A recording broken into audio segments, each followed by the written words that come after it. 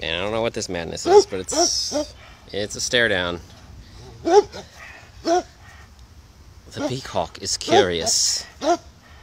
Even though the dog is trying to assert dominance, the peacock is unfazed. The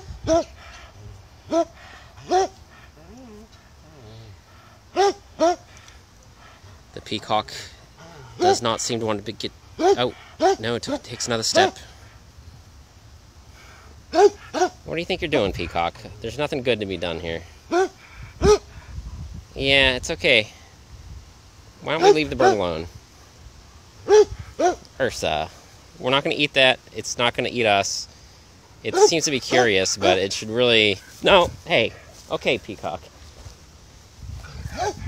You, you trying to be playmates or something? Because this is like... This is a little too crazy for me. Really? You want to... Hey. wow. Alright. I think that's...